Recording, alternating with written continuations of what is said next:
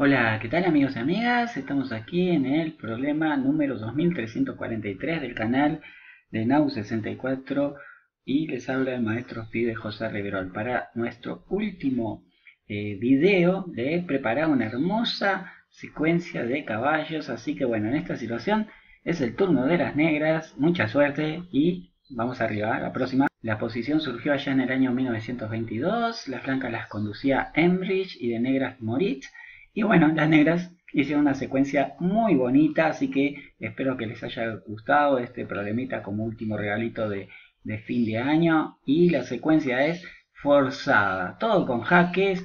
Entramos primero con la dama.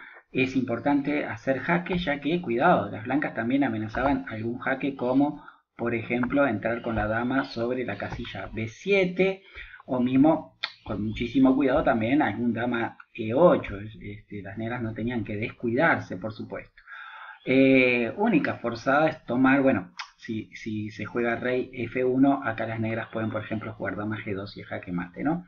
Entonces, las blancas tomaron rey por H2, vino caballo G4, el rey única moverse a G1, otro salto de caballo a H3, las blancas no tienen más remedio que huir a F1 y por último, miren qué lindo, este, con otro jaque consecutivo de caballo, el tercero, el definitivo, donde las negras dieron jaque mat.